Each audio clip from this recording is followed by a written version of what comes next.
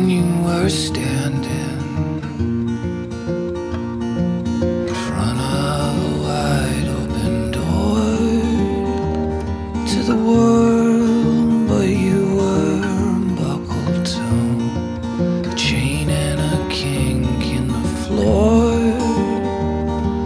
You offered your body to anybody offering.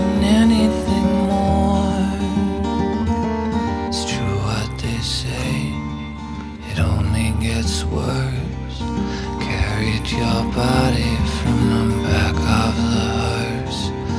Whispered our welcomes, said our goodbyes.